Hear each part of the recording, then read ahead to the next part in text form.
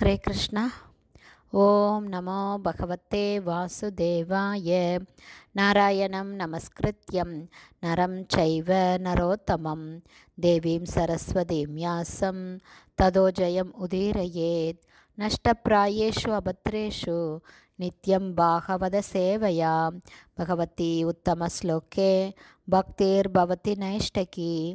முகம் கரோதி வாச்சாலம் பங்கும் லங்காய தே கிரிம் யத்கிருபா தமகம் வந்தே ஸ்ரீகுரும் தீனதாரிணம் பரமானந்த மாதவம் ஸ்ரீ சைத்தன்ய ஈஸ்வரம்.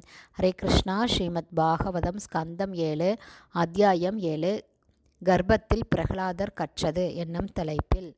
பதம் பதினாறு. தத்து காலஷ்ய தீர்கத்வாத்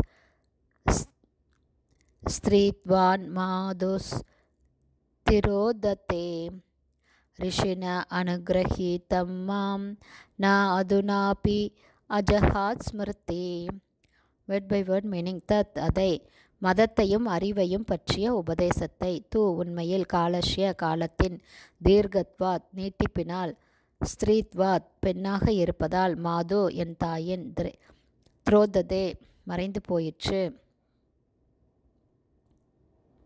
ரிஷினா அந்த முனிவரால் அனுகிரகித்தம் அனுகிரகிக்கப்பட்டதால் மாம் எனக்கு நான் இல்லை. அதுனா இன்று அப்பி கூட அஜகாத் அகன்றது.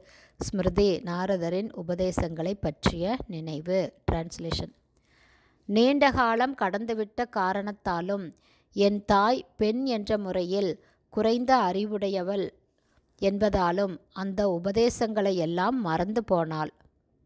ஆனால் மாமுனிவரான நாரதர் என்னை ஆசீர்வதித்ததால் அவற்றை என்னால் ஞாபகம் வைத்து கொள்ள முடிந்தது.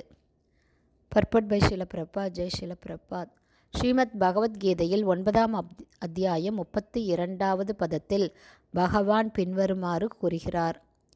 மாம் ஹி பார்த்த வியபாஸ்ட்ரிய ये अपि स्युः पापयोनयः स्त्रियो वैश्यास्तथा शूद्रास् ते अपि यान्ति பராம் கதிம் அதாவது பிரிதாவின் மகனே என்னை தஞ்சம் அடைபவர்கள் தாழ்ந்த குடியில் பிறந்தவர்களாகவோ பெண்களாகவோ வைஷ்யர்களாகவோ அல்லது சூத்திரர்களாகவோ இருந்தாலும் அவர்களாலும் பரமகதியை அடைய முடியும் என்பதே இந்த ஸ்ரீமத் பகவத்கீதை ஸ்லோகத்தின் பொருளாகும் பாப்ப யோனி என்ற சொல் சூத்திரர்களை விட தாழ்ந்த நிலையில் இருப்பவர்களை குறிக்கிறது.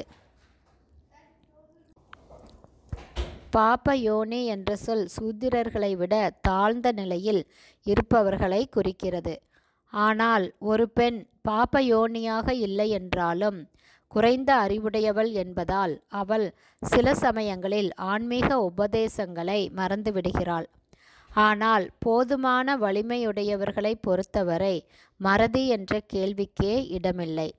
பெண்கள் பொதுவாக பௌதீக சுகபோகங்களில் பற்று கொண்டவர்கள். இந்த சுபாவத்தின் காரணத்தினால் ஆன்மீக உபதேசங்களை சில சமயங்களில் அவர்கள் மறந்து விடுகிறார்கள். ஆனால் ஒரு பெண் கூட பக்தி தொண்டின் சட்ட திட்டங்களை உறுதியாக பின்பற்றினால் அவளால் பகவானின் ஆன்மீக உலகை அடைய முடியும் என்று பகவான் கிருஷ்ணர் கூறுவதில் சிறிதும் ஆச்சரியமில்லை. ஒருவன் பகவான் கிருஷ்ணரை சரணடைந்து சட்டத்திட்டங்களை உறுதியாக பின்பற்ற வேண்டும். அப்போது ஒருவன் யாராக இருந்தாலும் அவன் பரமபதம் அடைவான் என்பது நிச்சயம். பிரகலாத மகாராஜனின் தாய் கர்ப்பத்திலிருந்த குழந்தையை காப்பாற்றுவதில் அதிக அக்கறையுடையவளாக இருந்தாள். அதே சமயம் தன் கணவனின் வருகைக்காகவும் மிகவும் ஆவலோடு காத்திருந்தாள். ஆகவே நாரத முனிவரின் உயர்ந்த உபதேசங்களை அவளால் மிகவும் முக்கியமானவையாக எடுத்துக்கொள்ள இயலவில்லை. ஹரே கிருஷ்ணா ஸ்ரீமத் பாகவதம் ஸ்கந்தம் ஏழு அத்தியாயம் ஏழு கர்ப்பத்தில் பிரகலாதர் கற்றது என்னும் தலைப்பில். பதம் பதினாறுடைய சில பக்திவேதாந்த சுவாமி பிரபுபாதாவின் விளக்க உரை இத்துடன் நிறைவடைந்தது. ஹரே கிருஷ்ணா ஸ்ரீல குருதேவுக்கு ஜெய். ஸ்ரீல பிரபுபாதுக்கு ஜெய். ஹரி போல்.